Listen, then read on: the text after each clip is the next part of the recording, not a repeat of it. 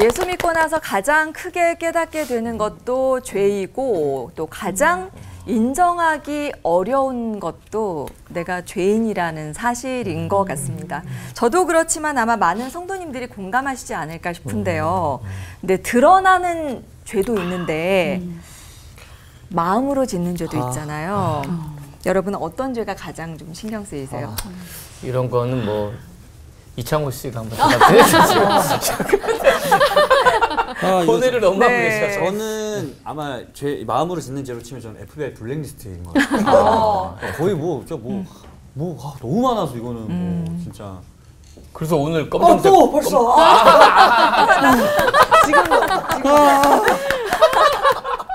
그 사실. 네. 목사님 이렇게 생각으로 갑자기 이렇게 떠오를 때가 있잖아요. 그런 것도 다 죄라고 생각하시나요? 어떤 거요 구체적으로? 구체적으로는 어. 이분께서 또 구체적으로 일단 제 앞길에 방해했던 사람들은 저는 이미 다, 제 선에서 다 끝냈죠. 이미. 상상으로는. 네. 저는 괜찮은 거죠. 명단에 있었다가 얼마 전에. 네. 명단에 있어서 참 어려운 것 같아요. 이런 걸 분별한다는 것이요. 그 마틴 루터가 네. 재밌는 얘기했어요. 그러니까 그거를 새로 비유해서 새가 날아가다 내 머리 위에 우연히 앉는 것은 괜찮지만 둥지를 짓게 하지 말아라. 그러니까 내 생각이 악한 생각이 떠오를 수 있거든요. 근데 그거를 즐기고 그것을 반복하고 어, 이런 거는 죄다라고. 이거는 적절한. 표현. 네. 그분은 참 고급스럽게 말씀하셨는데 네. 우리는 보통 어떻게 얘기하냐면 어, 똥을 실수로 쌀 수는 있지만 깔고 뭉개진 마라. 다른 다른 버전이에요. 편집될 것을 예상해서 말씀드립니다만 네. 네, 네. 어, 사실은 음, 예수님 말씀에 답이 있는 것 같아요. 예수님께서 그 마음으로 간음죄를 지는 거에 대해서 말씀하실 때 어, 그런 말씀을 하시죠. 그러니까 마음 속에 그러한 그 음탕한 마음을 갖고 어, 여인을 바라보는 것 죄라고 말씀하세요. 그러니까 어, 우리가 이렇게 그 스쳐가는 예, 우리 안에 아직도 남아 있는 죄의 영향이 있어서 그런 생각들이 떠오를 수 있고, 있고 우리에게 잘못된 욕구가 발현될 수도 있지만 네. 그걸 그냥 내버려 두는 거 목사님 말씀하신 것처럼 그게 자리 잡고 그래서 어, 않고. 그걸로 하여금 어, 하나님에게서 우리를 멀어지게 하는 어, 그것이 죄인 거겠죠. 네. 창호 씨가 막 괴로워하는 거 보니까 이 문제는 정말 풀어야 될 것 같아요. 네. 안 그러면 걸어 예, 계속 괴로워하면서 우리가 살 수는 없는 것 같습니다. 네. 네. 그러니까 우리가 네. 분별하는 그 기준은 필요한 것 같아요. 네. 그죠? 해봅시다. 네. 자, 마음으로 지은 죄, 행위로 지은 죄, 우리는 얼마만큼 자유할 수 있을까요? 목사님들의 설교를 통해서 먼저 알아보도록 하겠습니다. 김윤희 목사님부터 시작해 주시겠습니다.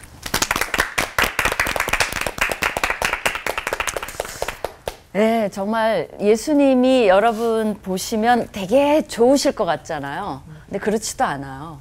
네, 은근히 네, CBS에서 은근히 예수님이 바리새인들하고 많이 부딪히십니다. 어떨 땐 시비도 거시는 것 같아요. 이제 한 번은 바리새인들이 예수님을 점심에 초대했어요.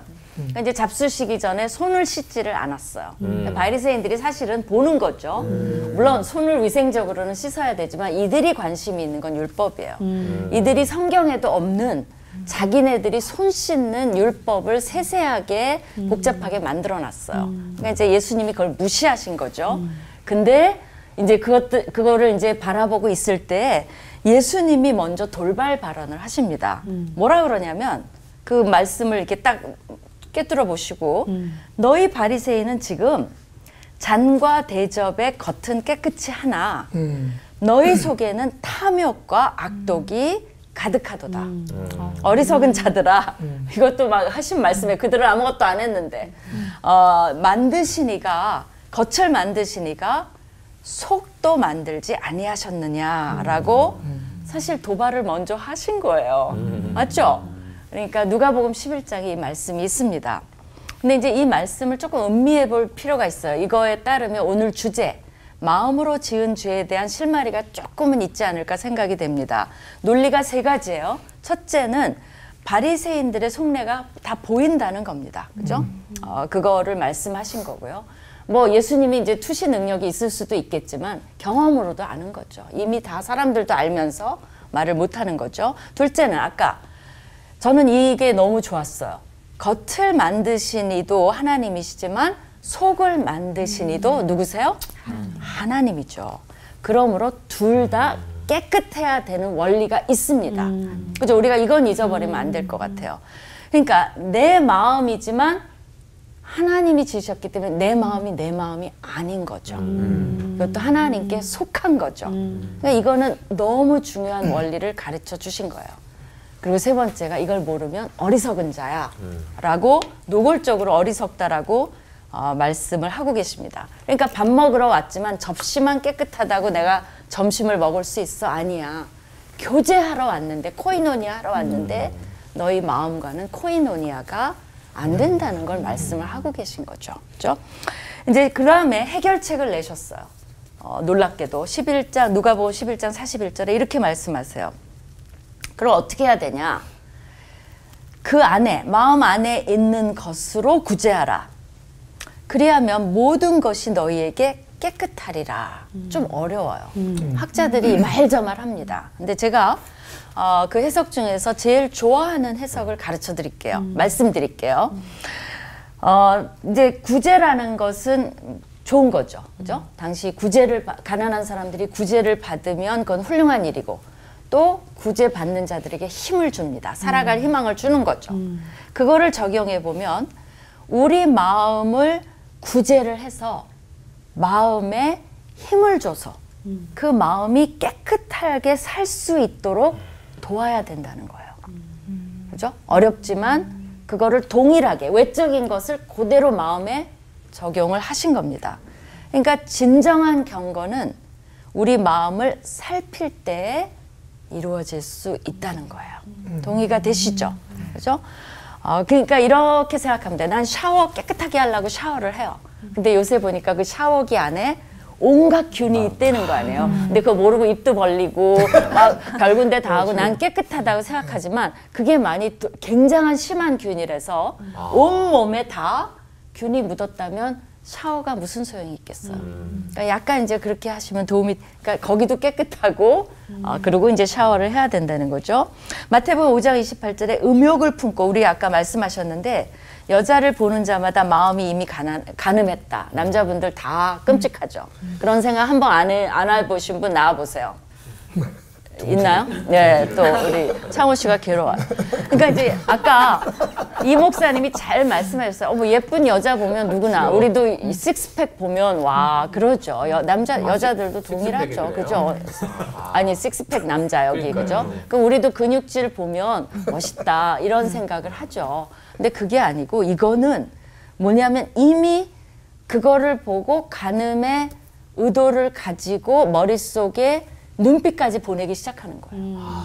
그러니까 내가 이것을 행동으로 옮기고 싶은 마음으로 가고 있는 거예요. 그러니까 이거는 행동하기 전에 모습이라는 거죠. 그게 없으면 어떻게 행동을 합니까? 아무 생각이 없이 행동하는 사람이 어디 있어요? 이미 많은 것을 계획하고 그리고 예를 들면 이제 따라가면 그게 행동 행동에 옮겨지는 거죠. 그러니까 아까 그게 너무 맞는 말씀이야. 우리 다 스쳐 지나가죠. 멋있다. 그거 끝이지. 그걸로 괴로워하면 어거스틴도 그랬다 그래요. 너무나 죄 고백을 많이 해서 그 고백을 받는 사제가 어거스틴만 나타나면 그 또 뭐냐? 그러니까 우리가 그렇게 살 그건 이제 어, 어거스틴이니까 그렇고 그건 아니고요. 이제 우리가 그것을 구체화하는 것, 이제 그런 것을 지적을 한다는 것이죠. 어, 그러니까 이제 그럴 때는 해결책을 또 주셨어요. 오 른 눈, 오른손을 찍어버리라는 거죠. 그럼 실제로 모슬렘들은 합니다. 그것도 말도 안 되는 거예요. 그 문자적으로 적용을 해요. 근데 성경은 그렇게 말하는 비유예요. 비유는 비유일 뿐이라고 우리 어, 박 목사님 자주 말씀하시는데 그만큼 그걸 행동으로 옮기지 않도록 정말 그런 각오로 자기를 자제하라는 거예요. 왜냐하면 행동 직전이거든요. 그리고 십계명에 이웃의 아내나 소유를 탐내지 말라 그랬어요. 탐내지 말라는 뭐예요? 마음이잖아요. 마음. 탐내지 말라는 거예요. 우리 탐내죠. 아우 저 차나 응? 하나 갖고 싶어. 그러지 뭐 그거를 진짜 문을 따나요? 그러진 않잖아요. 아간이 예, 여리고에서 노력한 물건을 보고 탐냈어요. 뭐 했죠? 감췄어요. 아. 다 탐냈을 거야 내가 보기에 여리고성의 그 노력한 물건을 보고 탐냈어요. 그러나 아가는 행동으로 그것을 나타냈다는 거죠. 선악과를 본 이분은 지혜롭게 할 만큼 탐스럽다고 보고 느꼈어요. 근데 어떻게 했죠? 거기서 끝냈어야죠. 행동에 옮겼다는 겁니다. 거기에 다 동일한 단어. 히브리어로 하마드 하마 이게 흐 발음이 잘 돼야 돼요. 하마드라는 단어가 쓰였습니다. 전부 어떻게 됐죠? 행동으로 이어졌어요. 그죠? 그러니까 어, 야고보서에 욕심이 인, 잉태한즉 죄가 돼요. 그죠? 어, 그러니까 내 그 욕심에서 시작되죠. 욕심으로 끝내야 되는데 애, 애가 생겨버렸어요. 그죠? 그 죄가 돼요. 그 죄를 낳아요 또. 그러니까 이제 그게 일이 더 커진 거죠. 어, 근데 이 죄가 성장을 해서 또 뭐를 하냐면 사망이라는 애를 또 낳아요. 그러니까 이제 그게 되게 끔찍하죠. 그렇게 되지 않도록 주의하라는 겁니다. 그래서 시편 저자의 기도를 늘 해야 됩니다. 뭐냐면 하나님이여 내 속에 정한 마음을 창조하시고 내 안에 정직한 영을 새롭게 새롭게 하소서. 하소서. 아멘. 아멘입니다. 기도하시겠습니다. 하나님 이 시편의 말씀을 우리가 주야로 묵상하고 읊조리고 어, 정말 우리가 겉을 많이 치장하고 하지만 하나님이 우리 마음도 창조하셨다는 거 늘 기억하면서 우리 마음에 어떤 모습을 드리기를 원하는지 고민하는 우리 성도들 다 되게 하여 주시옵소서. 아멘. 아멘. 어, 새 영을 어, 깨끗한 영을 창조하여 주시옵소서. 아멘. 예수님 이름으로 기도합니다. 아멘. 아멘.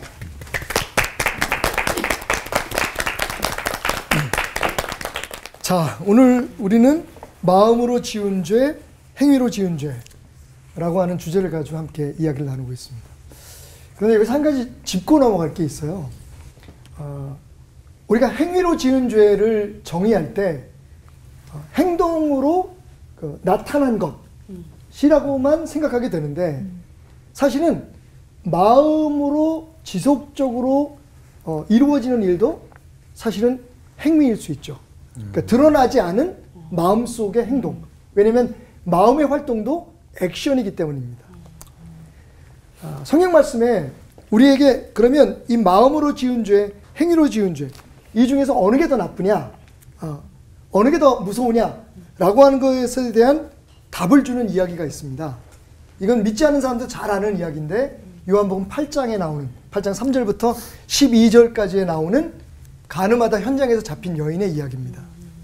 예수님께서 하신 두 말씀에 두 구절의 말씀에 우리가 주목할 필요가 있는데요. 어, 우리가 제일 잘 아는 말씀, 믿지 않는 자들도 많이 그 어, 사용하는 문구가 뭐냐면 너희 중에 죄 없는 자가 먼저 돌로 치라 라고 하는 얘기입니다. 어, 사실은 간음하다가 현장에서 잡힌 여인은 간음을 행위로 옮기다가 잡혀온 거잖아요. 그러니까 행위로 드러난 들킨 죄를 지은 여인이에요. 그런데 예수님께서는 그 여인을 정죄하라고 어, 아우성을 치는 바리새인들과 그 시대의 유대인들에게 이렇게 말씀하시죠. 그러면 너희는 죄가 없니? 어. 근데 이 사람들은 행동으로 드러난 죄를 지은 사람들이 아니에요. 아까 김 목사님 말씀하신 것처럼 그들의 마음 속을 꿰뚫어 보신 거예요. 그들은 이미 마음 속으로 그 여인을 정죄하고 있었던 거죠. 그래서 예수님 말씀하시기를 너희 중에 죄 없는 자는 먼저 돌로 쳐라. 이 얘기는 뭡니까? 마음으로 지은 죄나 행위로 나타난 죄나 하나님 앞에서는 똑같은 죄라는 거예요. 네. 그죠? 그런데 또 한 가지 중요한 게 있습니다. 그렇게 말씀하신 예수님의 말씀을 듣고 모두가 다 돌을 놓고 다 흩어져 버리잖아요. 근데 마음속에 찔림이 있었던 거죠. 자신들의 그 마음속의 죄에 대한 아, 그런 깨달음이 있었다는 겁니다. 그리고 나서 그 여인이 혼자 남았어요. 이때 예수님께서 이렇게 말씀하십니다. 사람들이 다 어디 갔니? 다 떠났습니다. 나도 너를 정죄하지 아니하노니 가서 다시는 죄를 짓지 마라. 다, 가서 다시는 죄를 짓지 말라는 얘기는 예수님께서 그- 그녀의 죄에 대해서 무관심하거나 아니면 없는 것처럼 잊어주시겠다는 얘기가 아니라는 걸 알 수가 있어요. 죄는 지어서는 안 되는 겁니다. 자, 그런데 문제는 그럼 왜 예수님께서 그녀를 정죄하지 않으느냐 하는 거죠. 저는 여기에서 큰 은혜를 받습니다.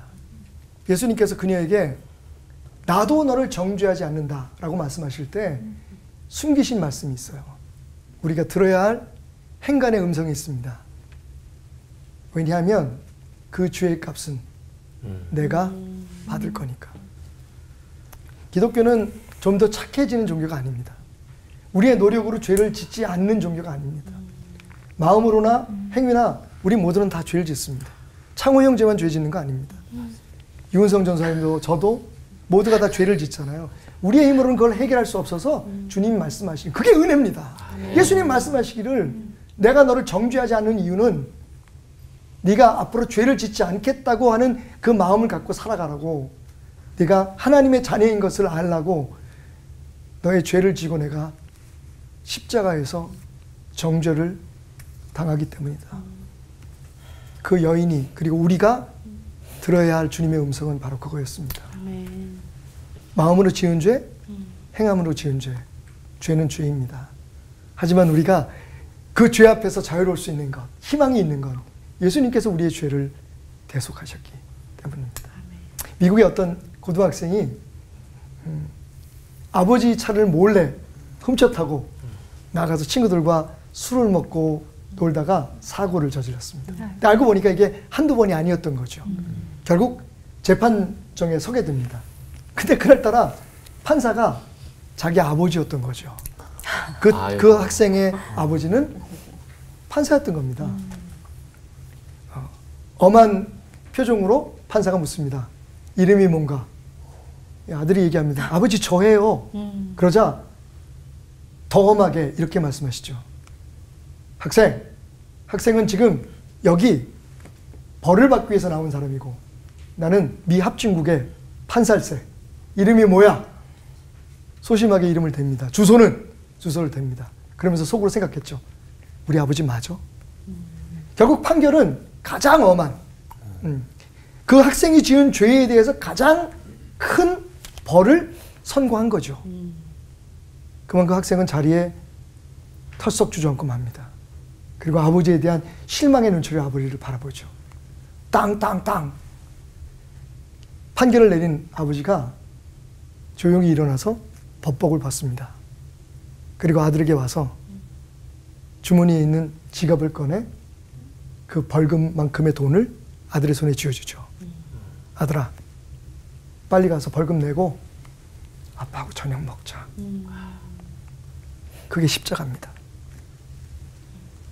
십자가에서 우리의 죄는 정죄받았습니다. 근데 그것을 예수님께서 사랑으로 대신 져주신 거죠. 오늘 저는 이 방송을 통해서 마음으로 혹은 행함으로 지은 죄로 인해 아파하는 분들, 두려워하는 분들, 주님이 하시는 이 말씀을 듣기를 원합니다. 나는 너를 정죄하지 않아. 왜냐하면 십자가에서 네 모든 죄를 내가 다 받았으니까. 그 사랑, 그 은혜 다 할 수 없지만 믿음으로 그 사랑에 겨워 그 사랑 붙들고 살아갑니다. 주여 오늘도 예수님이 계셔서 나의 구세주가 되어 주셔서 감사합니다. 아멘. 예수님 이름, 이름으로 기도드렸습니다. 아멘.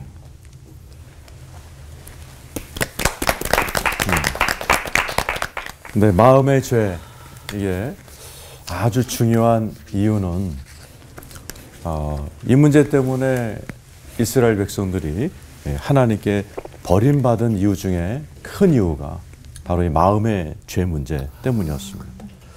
이스라엘 백성들 구약의 백성들은 몸으로 겉으로 하는 건 참 잘했어요. 몸에 에, 나은 지 8일 되면 다 할례를 행하고 또 철저히 율법을 지키는 겉으로는 참 열심을 낸 것 같아요. 그러나 속 오늘 주제인 이 속의 문제, 마음의 문제는 실패했습니다. 탈무드 같은 것을 써서 약간 그 마음의 기준을 낮춰서 아, 이 정도로 이렇게 뭐 다 그런 거지 뭐 이런 분위기로 어, 살던 구약 사람들이었습니다. 그때 우리 주님이 어, 이스라엘 망해갈 때 에레미야 선지자를 통해서 통렬히 어, 그들의 마음의 죄를 지적하면서 에레미야 4장 4절 유명한 데 너희는 몸에다 할례 하지 마라. 마음 가죽을 베라. 마음의 문제를 어, 지적을 해버리셨어요. 예수님이 오실 때도 이런 분위기였습니다. 뭐 다 그런 거지 뭐. 다 아니 마음으로는 다 그렇게 죄 짓고 사는 거지 뭐. 오늘날에도 그런 사람 많죠?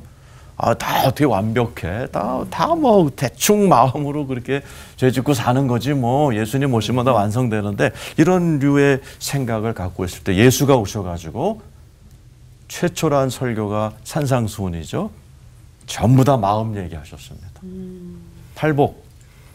심령이 가난한 자가 복이 있다. 마음이 청결한 자는 복이 있나니 하나님을 볼 것이다.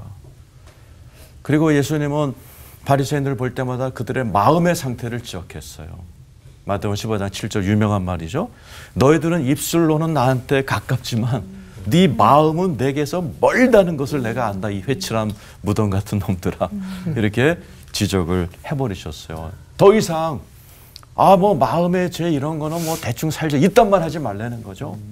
내가 원하는 것은 겉도 속도 내 백성이라면 거룩해야 된다. 이것이 예수님의 첫 번째 일성이었습니다. 그리고 예수님께서는 바로 그 마음의 문제 때문에 죽으신 겁니다. 예수님이 죽으신 이유는 우리가 몸에 할례를 안 해서가 아니에요. 11조 안 해서가 아닙니다. 우리 속으로 짚고 있는 죄. 이 문제를 해결하기 위해서 예수가 내가 죽겠다 그러신 겁니다. 십자가의 보혈로 우리의 죄를 깨끗이 씻기신 그 후에 예수의 영이 내 안에 들어와 사시기로 작정을 하신 거예요. 아멘. 그리고 구약 이렇게 이렇게 형식적으로 거룩한 척 할 수 있는 한계를 갖고 옛 언약을 하나님이 폐하시고 새 언약을 주신 거거든요. 그러니까 구약에 새 언약이 있죠. 에스겔 36장 26, 27, 28절이 구, 유명한 구약의 새 언약이잖아요. 내가 새 영을 주고 이 새 영은 우리의 영이 새로워진다 그래서 영어로는 어, 소문자 S를 씁니다. 예수 그리스도를 믿으면 죽었던 내 영이 살아나고 그 다음이 뭐죠? 새 마음을 주고 새 마음을 주고 싶으신 거예요. 그러니까 뭐 어, 그런 착하는 그런 마음이 아니라 이렇게 죄를 짓게 만든 그런 마음이 아니라 예수를 믿어 영을 살려 새 마음을 주고 그다음 27절이 뭐죠? 또 내 영을 주어 그건 대문자 S 예, 성령님입니다.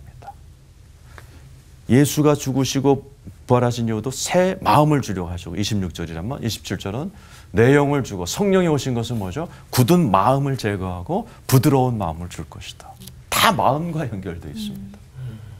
28절 그러므로 너희는 내 백성이 되고 나는 너의 하나님이 되리라. 출애굽부터 계시록까지 반복되는 언약이죠. 너희는 내 백성처럼 되라. 진짜 내 백성이라면 겉도 속도 거룩해야 돼.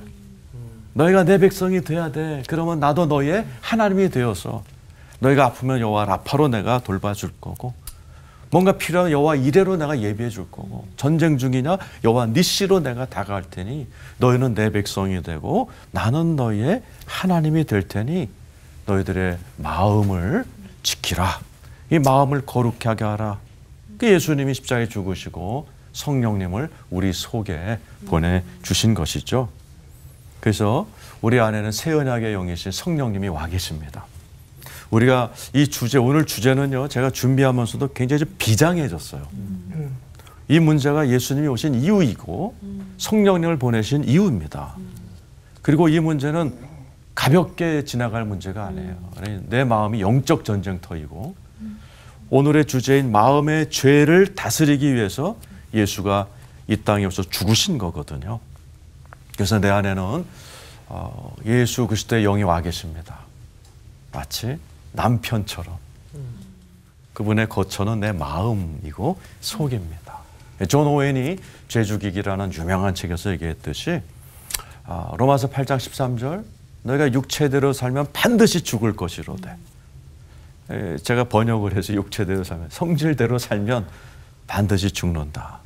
영이 죽고 네 아내 얼굴이 죽고 가정이 죽고 그러나 영으로서 네 육체를 죽이면 반드시 살 것이다.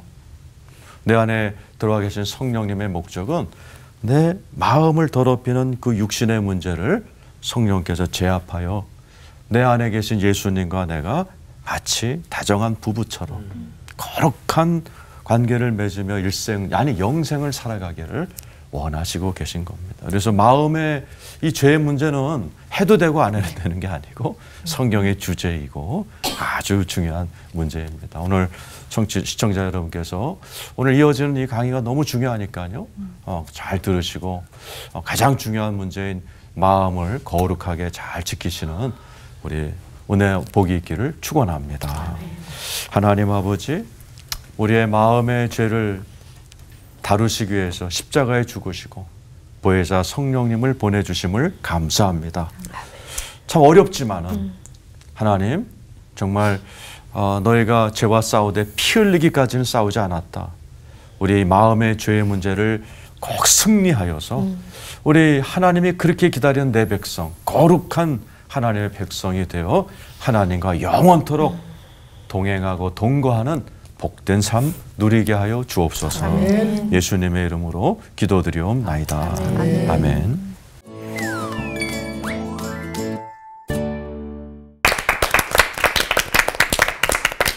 설교를 듣고 있는데 막 머리가 복잡해지면서 그 죄가 막 이렇게 엑스레이 찍는 것처럼 투시되는 것 같은 아, 이런 느낌은 뭘까요? 이렇게 나 오늘 어떤 생각했 고 어. 막 머릿속으로 했던 거. 어, 그거 죄된 생각이었네. 내가 너무 맞아. 둔감했나라는 생각도 좀 들었어요. 다들 아침에 어떠셨어요? 지은 생, 제가 생각이 났습니다. 어.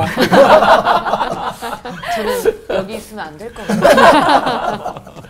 사실 세상은 이제 눈에 드러난 죄를 죄값을 치르잖아요.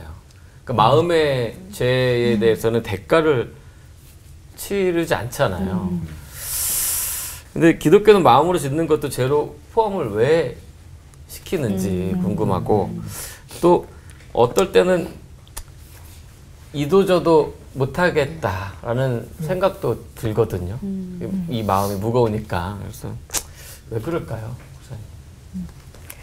어, 대가를 안 치른다고 생각했는데 대가를 안 치를까요? 그거 한번 생각해 볼 필요 있는 것 같아요. 네. 그러니까 왜 마음에 짓는 죄를 얘기할까? 몇 가지 보면 잠언에 이 말이 나와요.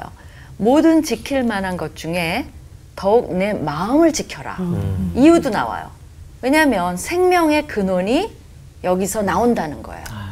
그러니까 우리가 뭐 어, 잠시 이제 지나가는 생각, 감정 어, 이거보다는 여기서 말하는 건 생명의 근원이니까. 내가 가진 확신, 내가 가진 믿는 거, 가치관. 이게 뭐냐가 나의 삶을 결정할 수 있다는 거예요. 그러니까 정말 이 마음이라는 게 하나님도 중심을 보시잖아요. 그게 굉장히 그게 그 중심도 이 마음이에요, 사실은. 그러니까 어, 중요하다는 거고요. 누가복음 6장에도 재밌는 말을 하는데 나무는 각각 열매로 안다고 하시면서 저는 이게 너무 해답이라고 해요. 선한 사람, 사람은 마음에 쌓은 선에서 선을 내고 악한 자는 그 쌓은 악에서 악을 내나니 이는 마음에 가득한 것으로 입으로 말함이니라. 그러니까 사실은 어 이제 처음에 저는 뭐 이거 괜찮다라는 듯이 들렸지만 그렇지는 않아요. 왜냐하면 그게 물론 누나 감정 아저 사람 이상해 그리고 지나가고 그게 정말 그럴 때가 많죠. 그것까지 하면 우리가 어거, 어거스틴이 되는 거고요. 그러나 그게 쌓이기 시작할 때 조금씩 쌓이지만 무섭죠. 그래서 내 마음을 차지할 때 그것이 결국은 열매로 드러날 수 있다는 겁니다. 거기에 이제 반대 국부로 이 말이 있어요. 잠언에 내 아들아 나의 법을 잊어버리지 말고 네 마음으로 나의 명령을 지키라는 거예요. 우- 마음으로 지킨다는 게 뭐예요? 결국은 이 마- 말씀이 마음에 쌓여 있어야만 그것을 지킬 수가 있다는 거예요.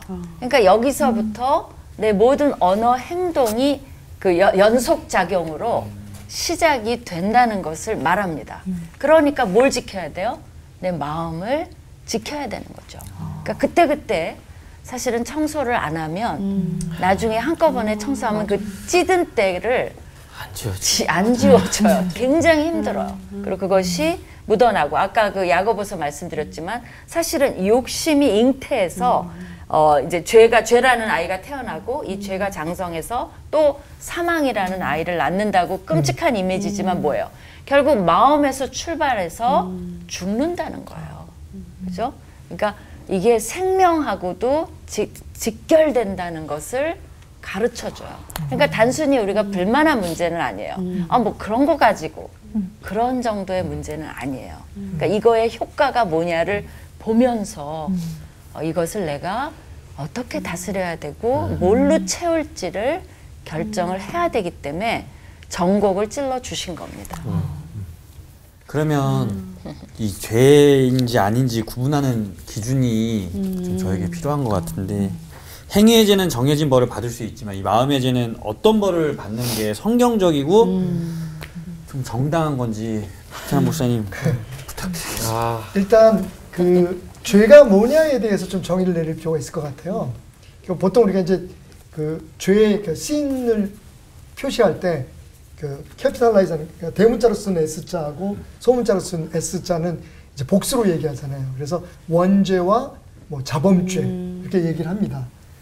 어, 근데 사실 원죄가 모든 죄의 근본이잖아요. 그러니까 원죄는 우리가 보통 그 어, 아담과 하와가 선악과를 따먹으면서 어, 어, 그로 인해서 이제 저질러진 죄를 이야기하잖아요. 심지어는 갓난 아이도 원죄가 죄 가운데 태어난다고 하는 얘기가 그 원죄인데 도대체 죄가 뭐냐 하는 거죠. 그러니까 우리가 보통 이제 원어로 그걸 해석할 때 그 관역을 빗나갔다. 뭐 그렇게 표현을 해요. 그래서 하나님 말씀에 빗나간 행동들, 그런 생각들 이게 죄라고 얘기하는데 사실은 딱 하나로 정의할 수 있을 것 같아요. 죄는 그 원, 원죄도 마찬가지고 자범죄도 그 죄의 결과인데 그게 뭐냐면 내가 하나님 되고자 하는 거예요. 그래서 반대로 얘기하면 하나님이 내 삶에 하나님이 되게 하라. Let God be God in your life. 그게 성경 전체의 메시지인 거죠. 어. 그 우리가 그걸 놓치지 말아야 될 것 같아요. 그러면 내 마음속으로 지은 죄에 대한 그 벌은 뭐냐? 저는 그게 양심이라고 생각해요. 하나님께서 성경에도 사도 바울도 얘기하지만 정말 우리가 우리 안에 성령님이 계시면 믿지 않는 사람들은 죽은 사람은 그, 그 우리 예화 있잖아요. 어, 죽은 사람 몸에 돌을 얹어 놓으면 무게를 못 느껴요. 죄책감이 없는 거죠. 근데 우리 하나님의 사람, 아까 이 목사 말씀하신 것처럼 예수가 우리 안에 계시고 성령님 우리 안에 계신 사람은 마음으로 지은 죄든 행함으로 지은 죄든 우리 안에 자각이 있습니다. 죄책감이 있습니다. 그게 사실 형벌인 거예요. 그때 다시 아 내가 순간 하나님 노릇했구나 내 삶의 주인이 나였구나라는 것을 고백하고 예수의 예수 십자가 앞에 그걸 내려놓고 회개하고 주님 앞에 내 마음을 드릴 때 사실 우리는 다시 자유함을 얻을 수 있는 거죠. 그러니까 오늘 되게 분위기가 좀 무거웠던 게 아, 우리 주인인데 어쩔 수 없는 주인인데 그런데 주님은 그렇게 말씀하지 않으세요. 다시 한번 말씀드리지만 나는 너희를 정죄하지 않아. 그게 사도 바울의 얘기잖아요. 더 이상 정죄함이 없다. 우리가 싸워야 될 건 죄, 죄만이 아니에요. 정죄함에 대해서도 싸워야 돼. 우리 스스로가 자꾸만 죄인이라고 느끼게 되고 그것도 사탄이 주는 마음이에요. 그거는 사도 바울이 얘기한 거예요. 어, 그리스도 안에 있으면 정죄함이 없다고 얘기하잖아요. 죄가 없다는 게 아니에요. 예수가 우리의 모든 죄를 다 대신하여 죽었기 때문에 과거, 현재, 미래의 모든 죄. 그러니까 진짜 우리가 깨끗해지고 죄에서 자유로워질 수 있는 방법은 예수 십자가를 믿는 거예요. 십자가의 보이는 능력을 믿고 우리의 마음을 그분에게 드리는 거죠. 우리 삶을 드리는 거죠. 하나님이 되려고 하는 것을 내려놓는 거예요. 그리고 그분이 하나님임을 인정하는 거예요. 문득 그런 궁금증도 들었어요. 바리새인들의 위선을 예수님께서 막 지적하셨잖아요. 만약에 예수님이 이 자리에 계시다면 어, 저희의 어떤 죄를 지적하셨을까? 굉장히 궁금해지거든요. 과연 질문들이 뭐 이거 너무 네. 아, ICBM 뭐라고 이거 완전. 생각하셨을지. 다들 다들 네. 있는 데에서 네. 한승환 씨가 여기서 이 어려운 여기서 와. 질문에 대한 어. 답을 김리 목사님. 그러니까. 아이고, 아이고. 어, 근데 아까 이제 일단은 어, 우리가 이제 신학적으로 좀 조합을 해야 되잖아요. 일단 우리는 다 의로워요. 걱정하지 마세요. 예수님의 피로. 어. 예수 그 그게 아니면 아멘. 우리가 다시 죄를 지, 짊어야 된다면 그건 아니죠. 그죠? 그러니까 우리가 이제 마음을 들여다 보니다 보니 여러분이 이제 온갖 것이 생각이 나서 맞아요. 무거워졌지만 일단 의로워요. 그게 얼마 없는 거예요. 아멘. 그죠? 그 대신 예수님이 그 말은 하셨어요. 뭐가 어, 되는 구원은 잃어버리지 않아요. 그죠? 우린 의로워요. 음. 근데 죄를 지면 무슨 일이 생기냐면 관계가 끊어져요. 하나님과의 관계가 서먹서먹해져요. 그죠? 우리가 서로 사랑하지만 싸, 싸운다든가 네. 그러면 그래서 관계를 회복하기 위해서 죄를 고백하고 깨끗이 해야 돼요. 발은 닦고 자야지. 발 닦고 자라는 거거든요. 근데 목욕까지 할 필요 없다 그러잖아요. 그러니까 사도 바, 그 베드로가 나 다 씻어 달라니까. 아 이 그럴 필요. 바로 그거예요.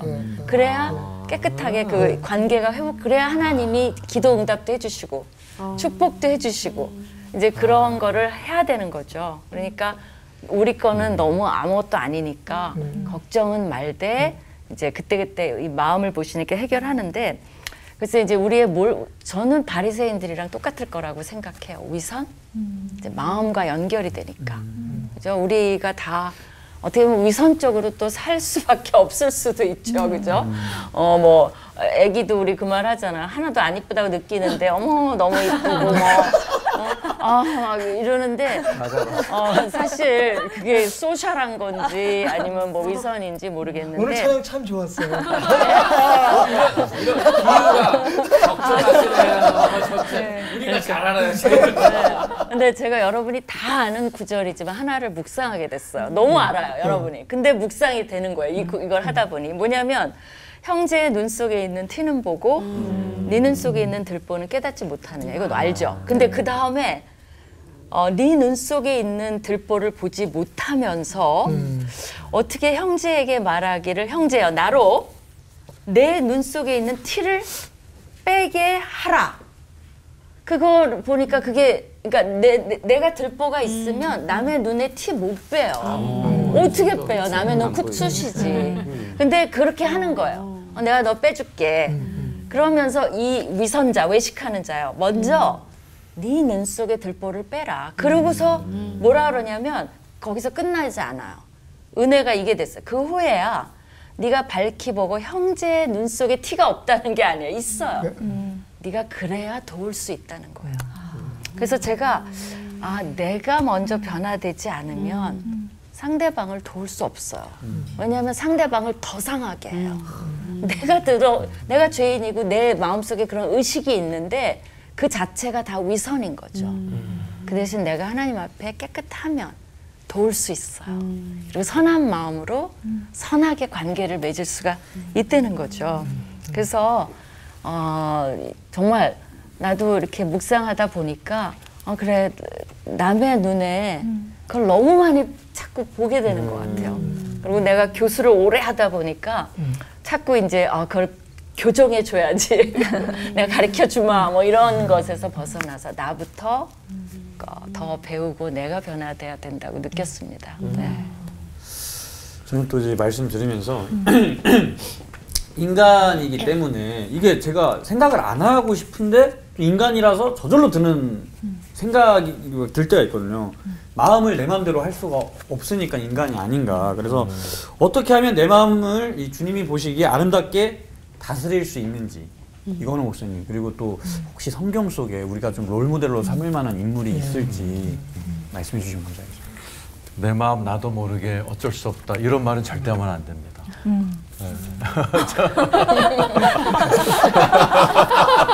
이거 누가 썼어? 저는 왜? 왜냐면 주님, 주님께서 오늘의 주제인 이 마음의 죄를 극복할 수 있는 은혜를 은혜 방편을 이미 주셨거든요. 네네 다행입니다. 우리 김민희 교수님이 이제 잠언 4장 23절 마음을 지켜라. 무릇 지킬 만한 거. 지킬 만한 게 많죠. 뭐 네. 부동산도 지켜야 되고 다 지켜야 되고. 그 마음을 지키라란 말이 그냥 설렁설렁 지키는 게 아니고 마- 마음만 먹는 게 아니고 군대용을 썼습니다. 그 히브리 말이 군인들이 부대를 지키듯이 나라를 지키듯이 네 마음을 철통같이 지키는 그 진지함이 있어야 된다. 그렇게 진지하게 마음을 지킨 사람이 성경에 있냐고 물어보셨죠? 뭐 다윗입니다. 아까 김 교수님께서 설교 시간에 얘기했지만 그 다윗이 이제 실수도 했죠. 근데 주님이 이제 사도행전에 어, 다윗이 그 실수 바세바 외에는 내 마음에 합한 자다. 그러니까 하나님이 그 마음을 인정하신 성경의 인물이죠. 그때 어, 아까 그 언급하신 것처럼 그 기도하죠.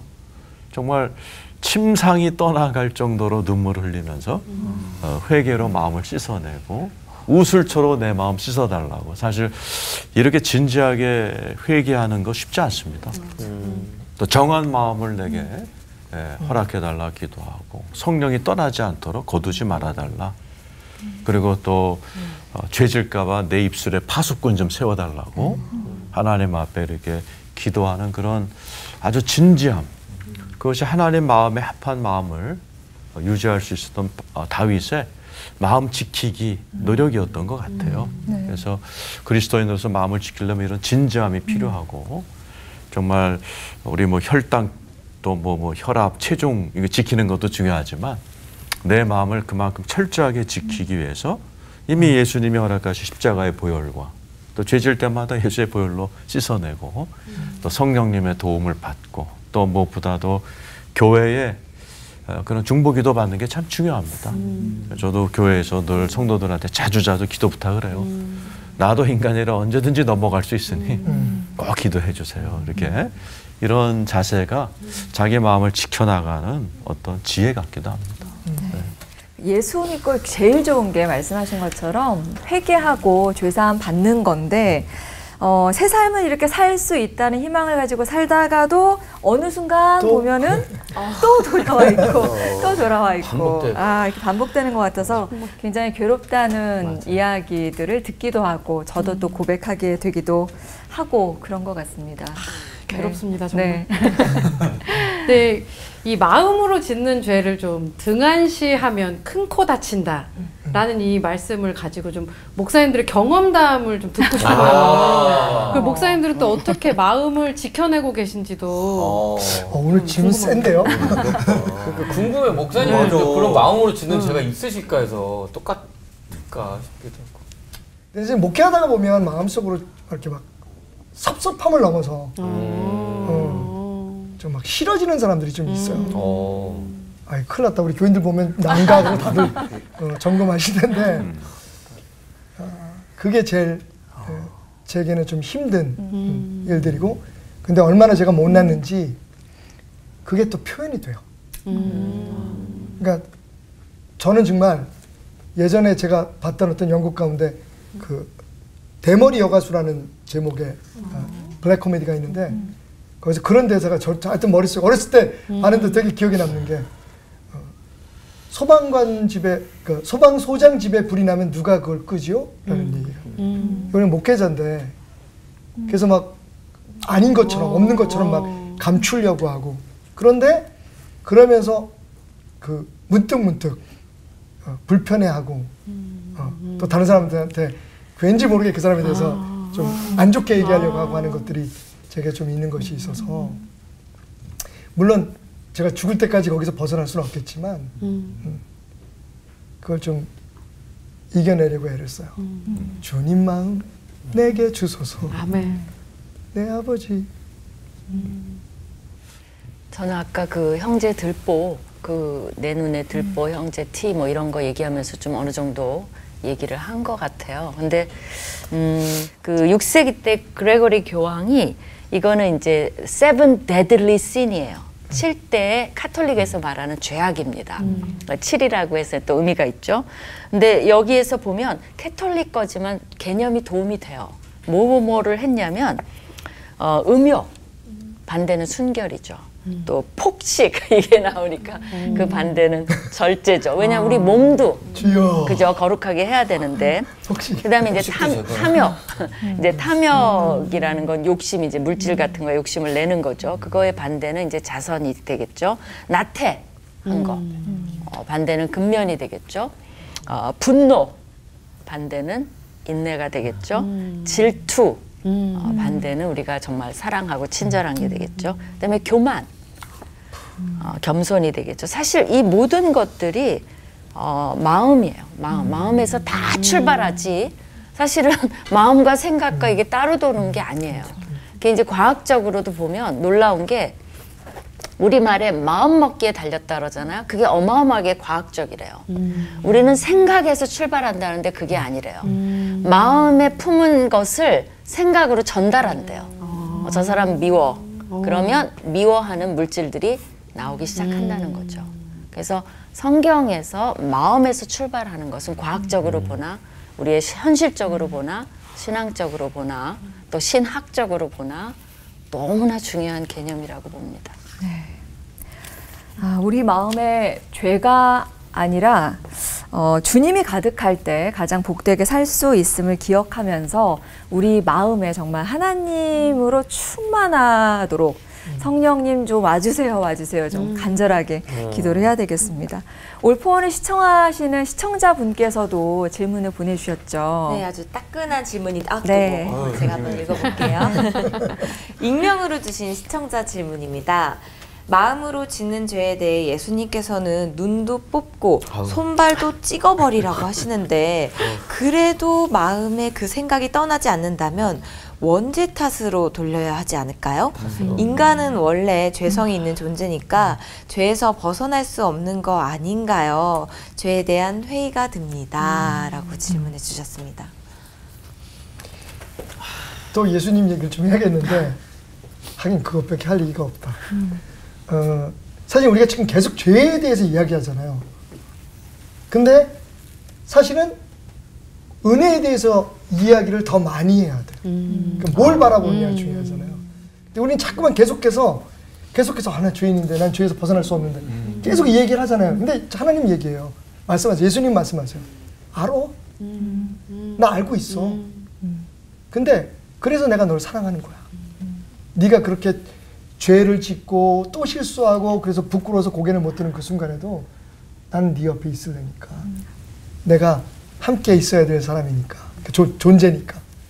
내가 너의 죄를 대신 다 졌으니까.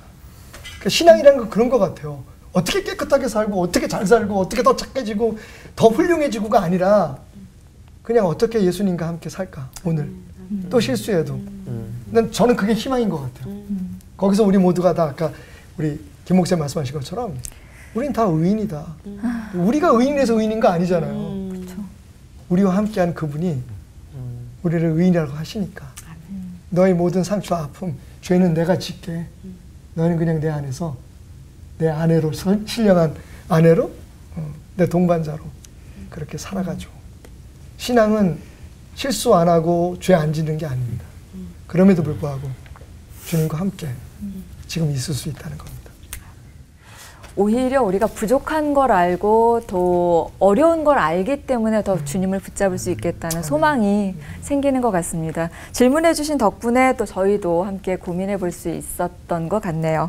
자, 오늘 이 시간 우리 마음을 많이 들여다보고 마음 구절 좀 하셨을 것 같은데 상호 형제 얘기 듣고 싶네요. 이제 좀 어떤 했어요. 시간이 됐어요? 손발을 만약에 잘랐다면 아, 저는 뱀 뱀이 됐을 것 같아요. 너무 많이 잘라서 한번만 잘라서 안 돼. 반- 막 여기 여기 다들 뱀처럼 이렇게 어, 주여. 아, 하지 마. 아니 상호 씨 오늘따라 검정색 옷을 입으시고 어, 왜 하필 또 옷을 이렇게 입고 와가지고 검정 신발이다. 네.